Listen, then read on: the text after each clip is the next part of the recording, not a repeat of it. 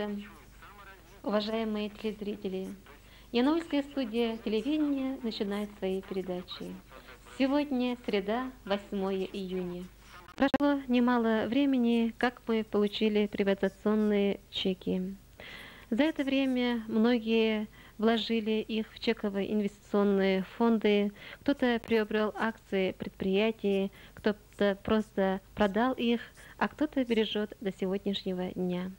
Сегодня мы беседуем с председателем комитета по управлению муниципальным имуществом Алсу Садыковной Якуповой. Алсу Садыковна, акции каких предприятий мы имеем купить вот в эти дни? В России в России сроки приватизации на исходе, но в Башкортостане, как известно, она продлена до конца 1994 года. Поэтому у жителей нашего района в настоящее время очень неплохая возможность выгодно устроить свои приватизационные чеки. Наиболее интересная возможность вложения приватизационных чеков э, было у жителей нашего района в связи с выставлением на, чек, на чековый аукцион мира, мирового лидера по газодобыче российского акционерного общества «Газпром». Высокая ликвидность акций «Газпрома» обеспечивает его надежным экономическим положением. На башкирский рынок ценных бумаг был, было выброшено миллион восемьсот тысяч э, акций «Газпрома». Для этого у нас в районе создан пункт приема приватизационных чеков у населения – при нашем комитете. На сегодняшний день сдано уже более тысячи чеков, собрано от наших жителей нашего района. Дальше можно будет вложить свои чеки, э, на, участвовать нашим жителям на четвертом специализированном республиканском чековом аукционе, который продлится еще до 15 июня этого года. На эмитентами этого аукциона являются Э, Уфимский нефтеперерабатывающий завод, Уфа Оргсинтез, Салават Оргсинтез, Уфимская косметическая фабрика Чародейка, Салават Стекло, Белорецкая швейная фабрика Юлия, Минудобрение, акционерное общество – Сибайская швейная фабрика «Гузель», Уфимская трикотажная фабрика, нефтеавтоматика, крупнопанельные домостроения и Уфа нефтехим. Вот эти предприятия акционируются до 15 июня. Э, можно будет оформить договора, заявки договора при нашем комитете. А стоимость акции одинаковая? Стоимость акций у этих предприятий у всех разные. У «Газпрома» Э, стоимость одного, одной акции 1000 рублей. У наших башкирских предприятий у всех она разная. Более подробно с проспектом эмиссии этих предприятий можно ознакомиться э, в пункте приема приватчеков, то есть у нас в комитет. Часто видим рекламы чекового инвестиционного фонда «Гермес», МММ Инвест. Вот если появятся желающие, смогут ли купить акции этих предприятий? Да, такая возможность также появилась у жителей нашего района. При сберкассе открыты пункты приема на эти предприятия. Также у нас в комитете имеются акции Гермеса. Можно, пожалуйста, обменять свои приватизационные чеки и приобрести за наличный расчет. А вот сами вы куда вложили свой приватизационный чек? Как работник госкомимущества, я, конечно, не имею права вкладывать свой приватизационный чек э, в предприятие. То есть я должна вложить свой приватизационный чек только э, в ЧИФы, в чековые инвестиционные фонды. Поэтому, э, конечно, от, ну, я еще до конца не использовала свои чеки.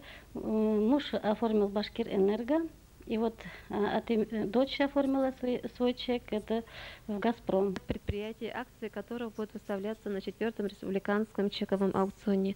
Как же рядовому человеку разобраться в этих предприятиях? Куда выгоднее вложить свой приватизационный чек?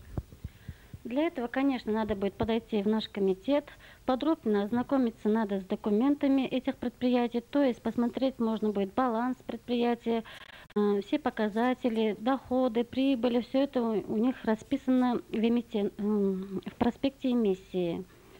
И исходя из этого уже э, вкладывают э, в это предприятие свои чеки.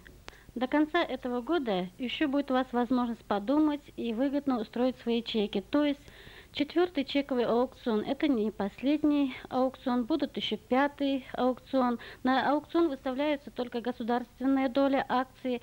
Кроме этого, наши предприятия будут акционироваться Агроснаб, например, НГДУ, Краснохолмснефть, кирпичный завод – ремонтно-техническое предприятие.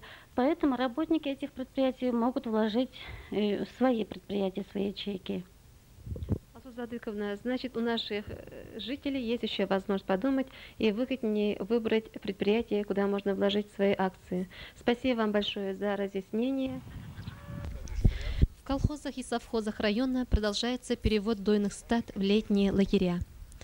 Ранним утром 2 июня мы приехали к животноводам колхоза имени Калинина на утреннюю дойку. Летний лагерь расположен в 6 километрах от центральной усадьбы. Лагерь хорошо подготовлен, на естественных пастбищах проведена подкормка минеральными удобрениями. Нас встретил заведующий фермой Валерий Владимирович Кутлубаев. Пока ждали приезда доярок, мы узнали, как обстоят дела на ферме с переводом стад в летний лагерь. «Хвастаться нечем», — сказал он. Надои резко упали. Животные с трудом привыкают к новым условиям. В это время появился автобус с доярками. Их всего 12 человек. По итогам пяти месяцев пример в труде показывает Шайдорова Тамара, Валовый надой на ее счету составляет 348, Тараканова Софья 331, Арсланова Лида 326 центнеров. Многое здесь зависит и от добросовестного отношения к своей работе пастухов. Их всего здесь шесть человек, работают в две смены. Приезд доярок подогревается вода большой емкости. Доярки направляются на свои рабочие места. Всего в лагере содержится 337 коров. До перевода в лагерь день надаивали 24 центнера, а в первый день в лагере дал всего лишь 16 центнеров молока. Хотя в достаточном количестве имеются зеленые и концентрированные корма, соль. И поэтому, наверное, настроение у доярок не очень веселые. И все-таки хочется надеяться, упорство и настойчивость животноводов приведут к хорошим результатам.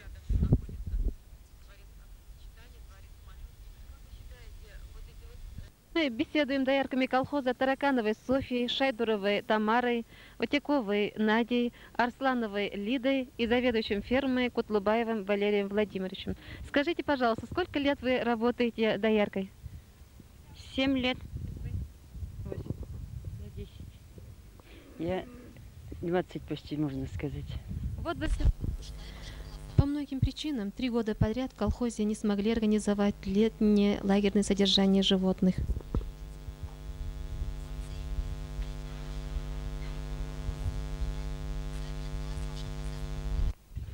Да, лагерь новый, хороший сейчас. Ну, пока первое время тяжело, коровы, конечно, еще не привыкли, но потом, думаем, наладится, все хорошо будет. Вот вчера у вас Первый вечерний надой был. Как он прошел? Ну, еще это плохо. Да. Они еще не привыкшие к этому лагерю, но стараемся, да. Они полностью не отдают молоко сразу. Ну. Более места вообще новые, они к этим местам вообще не привыкли, и даже старые коровы не заходят. Это мучение одно просто. Вот первый год на этом месте? Первый год, да, даже старые отвыкли да, от этой, от лагеря. Наверное, вы в скором времени достигнете тех рубежей, которые вот раньше надаивали, так? Ну, Сейчас подтягивать очень надо, долго, конечно. Долго? Недели даже придется подтягивать. А вам нравится, как вот организован лагерь? Нравится, нравится, но вот как, как привыкнем только. Вот вы сегодня добрались автобусом на утреннюю дойку. А в прошлые года как было? Ну, у нас рядом за деревней было. А сейчас сказали, что вот автобус возить. Так мы этим довольны, конечно. Если постоянно. Постоянно сказали. Ну, мы и на крытую машину согласны. Пускай лишь бы только крытая была. Но не на открытом месте. Здесь открыто, да, лишь бы возили. Конечно, 6 километров пройти каждый день два раза это слишком далеко. Зимовка скота. Хватило ли кормов до конца, до последних дней? Нынче кормов-то насчет кормов-то уж очень хорошо было, все хватило. И силосы это довольно было, и соломы нынче много было, фуражов. Не убежались, постарались доить.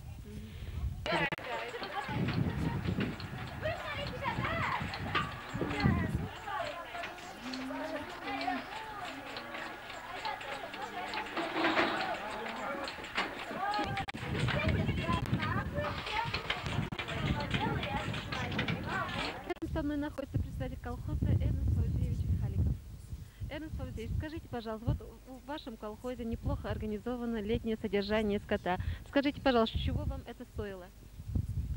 Ну, летнее лагерное содержание скота, мы уже третий год мучились без этого.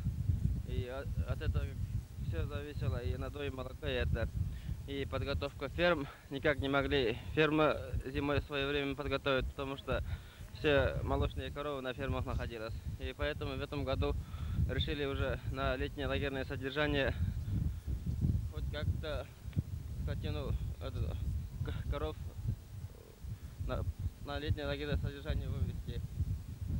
Ну, на этом лагере работали у нас бригада из 10 человек. Они, Оборудование когда было закуплено? Эрнест Фаузеевич? оборудование было закуплено в мае месяце. Обошлось нам, нам почти в 5 миллионов рублей. Деньги э, свои колхозные э, из дотации. Эрнест Фаузеевич, как у вас решаются вопросы с кадрами? Хватает, хватает ли колхозе доярок? В настоящее время у нас доярок хватает. И появились даже конкуренции. Есть желающие работать женщины доярками. И это, в свою очередь, очень хорошо подняло дисциплину. Уже доярки чувствуют, что если она будет плохо работать, дисциплину нарушать, знаешь, что на его место придет другая доярка и старается уже свои показатели улучшить и лучше работать. Ну а пока коровы привыкают к летнему содержанию, ну, остается ждать повышения продуктивности, так? Да, ну, думаем, в течение недели вот молока повысим. Да, для повышения продуктивности и выполнения плана, полугодового плана по продаже государству молока животноводам и специалистам колхоза еще нужно поработать.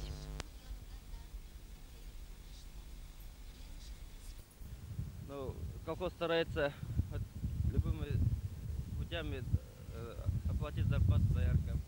В последнее время, вот, на- в зависимости от надоев, доярки получают зарплату хорошую. Получается в среднем 150-200 тысяч рублей. В зависимости. Ну, В зависимости от надоев.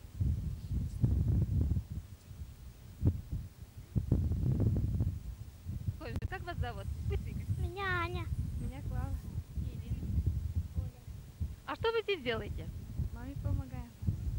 А в такую рань вам не лень было вставать? Нет? А как ты сегодня вот встала утром? Меня сегодня мама разбудила, я стала быстренько. Вы каждый день так маме помогаете? Я да. Каждый день, да? Вечером. А вам неохота? У вас же каникулы, спать долго. Нет? Маму жалко, да? Да. Девочки, у меня такой вопрос к вам. Когда вырастете, кем будете? А вот вы хотите, как мама, работать на ферме? Не знаю. А вы собираетесь все лето вот так маме помогать? Да.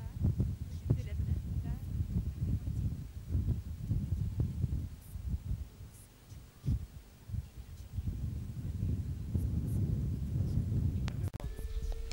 Здесь же 2 июня состоялся семинар, на котором приняли участие руководители колхозов и совхозов, обслуживающих предприятий, специалисты управления сельского хозяйства и продовольствия, а также специалисты, заведующие фермами животноводных хозяйств. Основным на повестке дня стоял вопрос о задачах по эффективному использованию летне-пасечного периода для увеличения животноводческой продукции. Семинар начался с осмотра летнего лагеря. Открыл его главный зоотехник управления сельского хозяйства и продовольствия Митхат Зевич Суфьяров.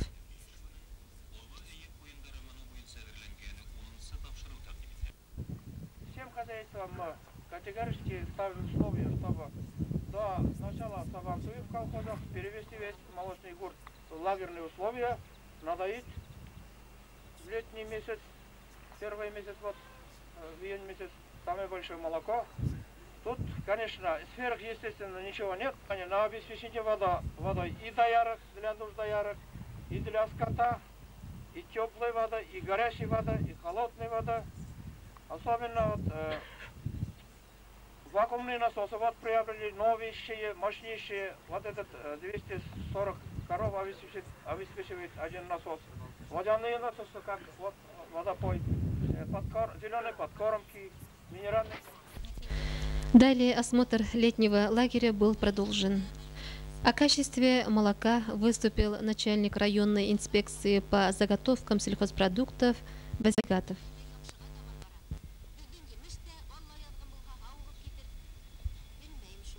Представляем э, анализ э, молока по качеству, значит, в разрезе хозяйства за 4 месяца. Не успели, конечно, за 5 месяцев мы составили, не успели э, наглядно оформлять. Не удивляйтесь, пожалуйста, ваши э, фильтры, посмотрите, у кого какое молоко, соответствует ли качеству, как говорится, вот надо обратить на это особое внимание. Здесь приборы есть для определения чистоты молока, э, для определения кислотности, плотности и жирности. Весы прошли, посмотрели. Правда, весы не клейменные, срок истек. Вот надо обратить на это внимание. Во всех хозяйствах э, срок клеймения истек, надо э, оформлять клеймить надо. Постановлением э, Совмина и приказом э, министра сельского хозяйства э, категорически запрещается отправка молока без оформленных э, накладных. Что это означает? Э, Где, если не проставляется жирность, э, плотности, кислотности, лучше такое молоко не отвести э, в сырзавод. Значит, будут приняты меры вплоть до возвращения. Вот такой приказ министра сельского хозяйства надо возобновить во всех хозяйствах молочные лаборатории, чтобы они действовали. Пленарную часть семинара, который состоялся в Орловском сельском доме культуры, открыл глава администрации Назир Загитович Зиязов. развития, за тот труд, огромный труд, который они вложили в организацию этого лагеря. Давайте пожелаем им больших успехов, счастья и всего самого наилучшего. Затем выступили председатель колхоза имени Калинина Ахаликов, начальник управления сельского хозяйства и продовольствия Салихов и многие другие специалисты управления.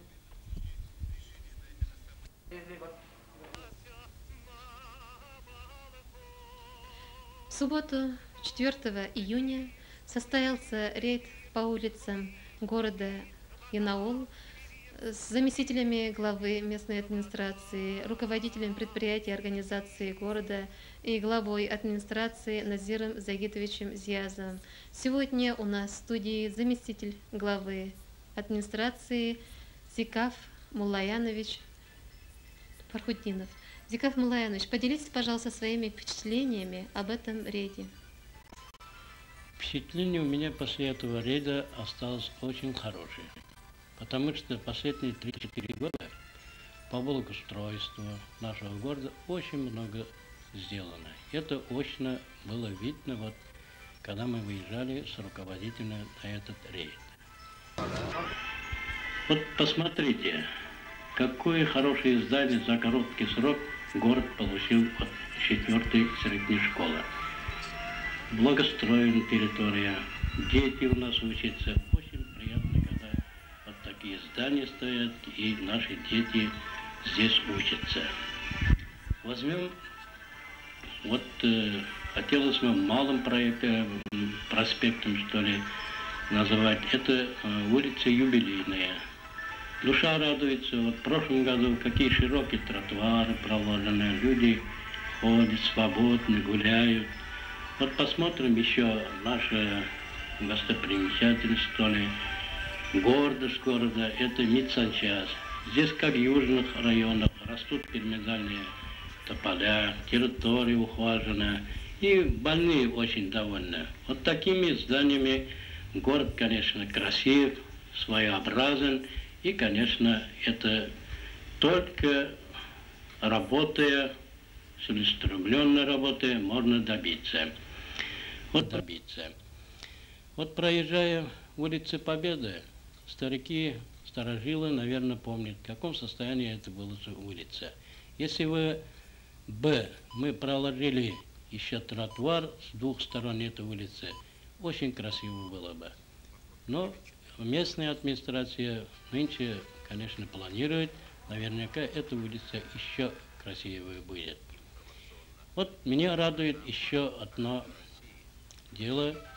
С северной стороны руководители крупных предприятий бросили клич руководителям южной части города, мол, в 1995 году они по благоустройству уже смогут соревноваться вот, руководителями южной части города. Вот посмотрите, в северной части сколько были подняты последние годы э, дорожные полотна, асфальтированные дороги 8 марта, Калинина и другие улицы, Кирова. И вот сегодня глаз радует благоустроенные территории таких организаций СМУ НГДУ, Массасаркомбината, нефтебаза, ОРС НГДУ, Межрайбаза и других, элеватора и других таких крупных и малых предприятий. Это, я бы сказал, огромный труд наших руководителей, членов их э, организаций, предприятий. И, конечно, я бы хотел сказать, глава администрации, уважаемый Назар Загитович, большое внимание уделяет благоустройству города. Нет такого дня, часа, чтобы по благоустройству у нас э, администрации города не был разговор и какое-то дело не запланировано. Но, тем не менее, работать еще нам очень предстоит много, и я огорчен в одном деле. У нас предстоит работать огромная работа в частном секторе. Вот, вот проезжая вот, частный сектор, действительно наши горожане не работают по благоустройству. Там и дрова, и техника стоит, и грязь, канава не очищена. Ну, просто неприглядный вид в частном секторе. И улицы, вот народ у нас привык, как будто улица – это их территория. Но я обращаюсь к горожанам города, скажу, улица – это общественное место, это не ваше место. Поэтому будьте добры, ощите свои территории.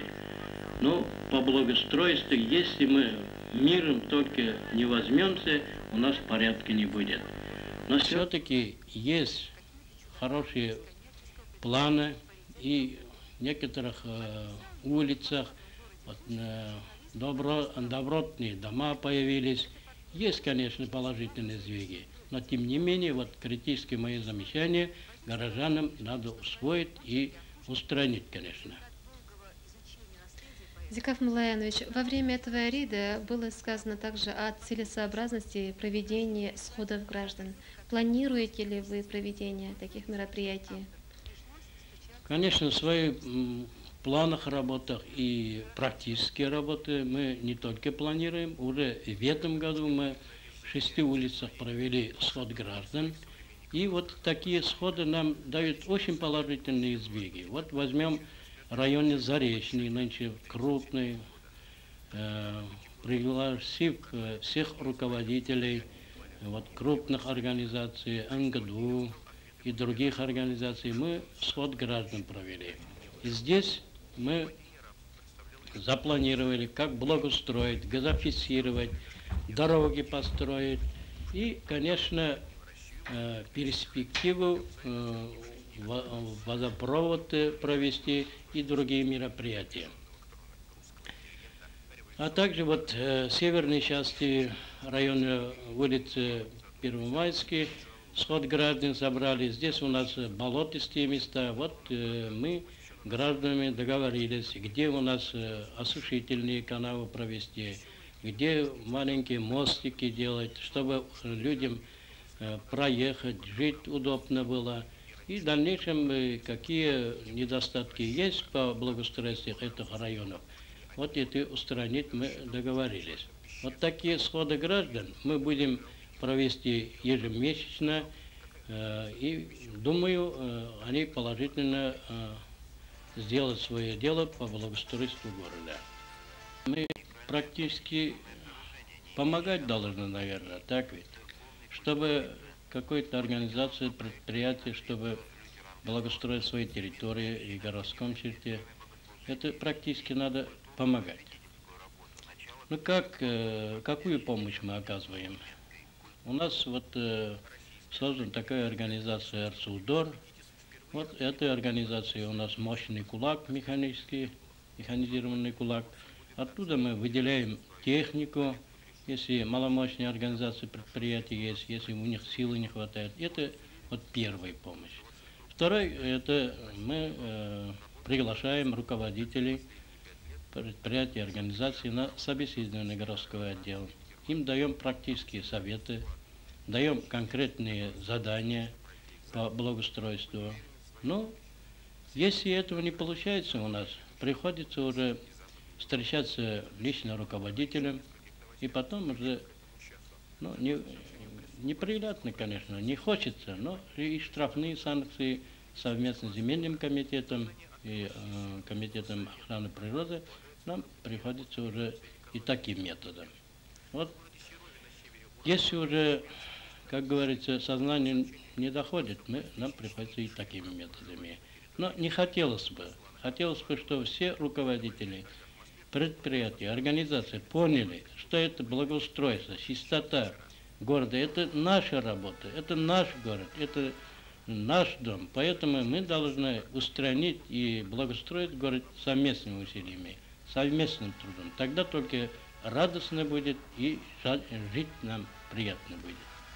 Зикав Малаянович, Янаульская студия телевидения также открывает цикл передач под рубрикой «Как живешь, мой город», она будет выходить в месяц два раза, где вот мы будем проверять чистоту, порядок нашего города, также частный сектор, предприятия, организации города. И последний вопрос. Диков Мулаянович, так хочется, чтобы в городе у нас росли, чтобы было много цветов. Можно ли эту проблему решить? Да, это меня тоже самого волнует. Конечно, город вот два с половиной года тому назад получил статус города, поэтому хотелось бы, чтобы действительно город Янаул ну, был в цветах. Но эту проблему, думаю, можно решить и нужно решить, потому что вот я, как уже сказал, у нас создан э, Арсудор, при Арсудор должен быть такой участок Зеленстрой. Вот сейчас э, 1994 году строится база РСУДР. При базе РСУДР должно быть парниковое хозяйство, где будет выращиваться э, рассада цветов, и мы должны размножать по всем организациям, раздавать, и чтобы и сажать. И у нас в 95-96 годах, думаю, ну, появятся дополнительные клумбы, скверы, и мы думаем, ожидаемый результат у нас будет. Мы тоже надеемся. Спасибо большое, Зикав Павлаянович. Успехов вам. Уважаемые телезрители, сегодня мы беседуем с заместителем главы администрации Разиной Тимирхановной Гатухаковой. Разина Тимирхановна, как мы знаем, на этой неделе у нас пройдут два больших мероприятия. Это традиционный наш Савантуй и проведение первого международного симпозиума медиков – Расскажите, пожалуйста, о планах проведения этих мероприятий. Да, действительно, эта неделя очень напряженная. Два мероприятия пройдут в районе. Это Сабантуй, наш традиционный национальный праздник, и, конечно, первый международный симпозиум медиков. И это мероприятие впервые проходит в нашей республике. Ну, что нужно сказать? О проведении первого международного симпозиума уже наши телезрители давно знают. Давно уже с начала этого 94 года идут наши подготовительные работы. Мы до этого приобрели аппаратуру по новой технологии в хирургии. Идет, конечно, большая подготовительная работа. Э, произошел, произвели капитальный ремонт центральной районной больницы, основном во всех отделениях. Но сегодня эти мероприятия идут к завершению. Но если конкретно о симпозиуме, то что нужно сказать? Первый международный симпозиум свою работу начнет 9 июня в городе Уфе, Республиканской клинической больницы имени Куватова. Уфе пройдут теоретическая часть данного мероприятия. На это мероприятие приглашены ученые, профессора из городов Москва, Санкт-Петербург, Свердловск, Казань, Ростов-на-Дону, Ростовская область, Рязанская область и многие другие. Основном приглашенные гости, основном приглашенные товарищи приедут. Мы буквально на одной неделе присутствовали с главным врачом нашей больницы, товарищем Ахуновым, на последнем заседании оргкомитета по проведению симпозиума в городе Уфе. Ну и товарищи в республике, и мы подготовительные работы ведем. Надеемся, что это мероприятие пройдет на уровне. Ну еще что хочется сказать. В нашем районе в нашем городе Янауле, в центральной районной больнице, пройдут показательные операции. Операции э, сделает главный хирург нашей республики Вильм Амилович Тимирбулатов. Но для наших янаульцев эта операция не впервые. Мы уже показательные операции по малоинвазивной хирургии произвели. Они у нас прошли 19 апреля – Первые операции произвел профессор из города Москвы, профессор с мировым именем Лапкин. Ну, дальше, после проведения операции, естественно, будет обсуждение данной операции, дискуссия за круглым столом, и вот такие вопросы будут там. Перспективы внедрения передовых хирургических технологий в сельских больницах. И второй вопрос – компьютеризация лечебных учреждений на примере Янаульской центральной районной больницы. Вот что можно сказать по данному вопросу. Резидент на самом деле по улучшению здравоохранения в нашем районе делается очень много. Естественно, для проведения таких мероприятий нужны большие деньги. Скажите, пожалуйста, как решаются и как решили эти вопросы, Розалия Михайловна? Действительно, последнее время, особенно вот э, вторую половину прошлого года возьмем, если и в текущем году, очень много было сделано администрацией города и района и предприятиями для э, улучшения работы здравоохранения района. Действительно, приобрели очень много аппаратуры, оборудования, как уже телезрители знают, мы в районе открыли межрайонный центр по микрохирургии глаз, то есть центр по офтальмологии. Э, здесь уже наш район не только будет обслуживать, э, то есть этот центр будет обслуживать не только Янаульский район, но и ближайшие районы северо-востока нашей республики. То есть э, теперь уже операции на глаза, на глаз мы произведем у себя в Янауле. К нам приехал молодой специалист. Мы очень рады и благодарны, конечно, Институту глазных заболеваний, Уфимскому институту глазных заболеваний. Также мы приобрели аппарат, оборудование оборудование японского производства по малоинвазивной хирургии. Здесь, конечно, большую нам помощь оказали наши нефтяники. Конечно, пользуясь, пользуясь случаем, я, конечно, от имени администрации еще раз хочу поблагодарить наших нефтяников, лично начальника нефтегазодобывающего управления Юрия Гавриловича Пензина. Конечно, такое мероприятие, как уже мы сказали, первый международный симпозиум, на средства местной, э, местного бюджета не провести. Мы получили где-то 250 миллионов денег на проведение симпозиума э, из э, страховой медицины. И, конечно, буквально на той неделе 100 миллионов рублей нам э, выделил, выделило Министерство здравоохранения нашей республики. И, конечно, по линии медицинского страхования для проведения симпозиума мы, конечно, получим э, нужные средства. Данный вопрос буквально на днях решится. В общем, без помощи, э, без источников, которые к нам поступили из республики, нам, конечно, не провести этот симпозиум. И, конечно, некоторая часть, конечно, средств, наверное, и будем использовать и из местного бюджета. Но основная, извините, пожалуйста, основная часть, где-то 90% средств, конечно, э, на проведение симпозиума у нас э, из других источников, то есть не из местного бюджета.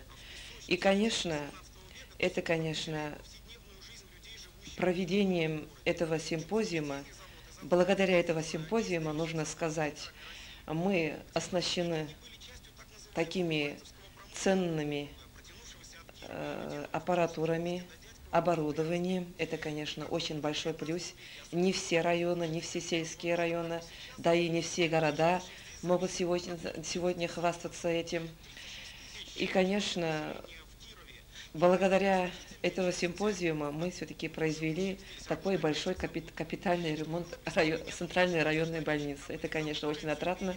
Симпозиум пройдет, гости уедут, но наш ремонт, то есть наше благоустройство, наша красота, вот что мы приобрели, это все остается нам на благо наших людей.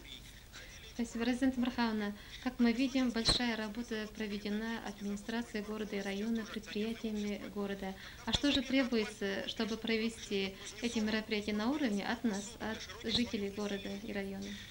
Вот вы, Рита Рариков, напомнили мне насчет предприятия. Действительно, вот этот большой капитальный ремонт центральной районной больницы мы произвели благодаря настойчивой, упорной работы наших предприятий. Значит, очень хорошо трудились СМУ НГДУ Краснохолмснефть, строители нефтекамских электросетей, наш ХАРСУ, наши дорожники, и, конечно, им большое спасибо. А наше, конечно, пожелание нашим телезрителям, нашим жителям города и района. Конечно, мы эту красоту должны беречь, сохранить на долгие годы. Произведена очень большая работа, э, истрачен очень большой колоссальный труд. Мы, конечно, жители, должны ценить это. это. И, конечно, вместе с, с вами, товарищи, мы должны встретить наших гостей красиво, добродушно. И, конечно, мы должны, когда мы вот домой приглашаем гостей, мы все равно делаем дома генеральную уборку. Конечно, сегодня каждый житель города и района должен сделать такую генеральную уборку не только у себя дома, вокруг своего дома, вокруг своего двора, э, вокруг того предприятия, где они работают. Мы, администрация города, района, призываем всех жителей города к этому. Пользуясь э, случаем, я еще хочу вот что сказать. Мы в городе и районе встречаем очень много гостей, проводим очень много мероприятий. До этого всегда наши гости от нашего района, от нашего гостеприимства всегда уезжали только с добрыми пожеланиями и добрыми впечатлениями. И мы надеемся, что этот раз мы, янаульцы, не подведем наш город, наш район и, конечно, администрацию города и района. А в конце своего выступления хочу всех пригласить на традиционный наш национальный праздник Сабантуй-94, который состоится 11 июня в 10 часов утра.